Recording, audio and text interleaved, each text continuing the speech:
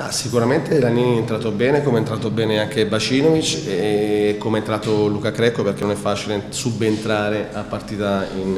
in corso. Eh, se vado ad analizzare il primo tempo credo che eh, ci sono state 5-6 ripartenze dove potevamo sfruttarle meglio, eh, nelle occasioni di diversi calci d'angoli siamo stati molto più pericolosi credo di aver visto un primo tempo diverso perché sotto l'aspetto delle occasioni anche nel primo tempo abbiamo creato qualcosina in più del Trapani.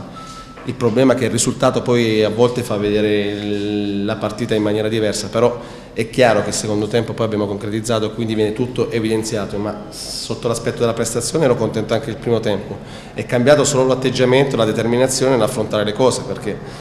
eh, se ricordo bene ci sono state 5-6 ripartenze dove magari abbiamo scelto, fatto una scelta sbagliata ma veramente gli potevamo far male.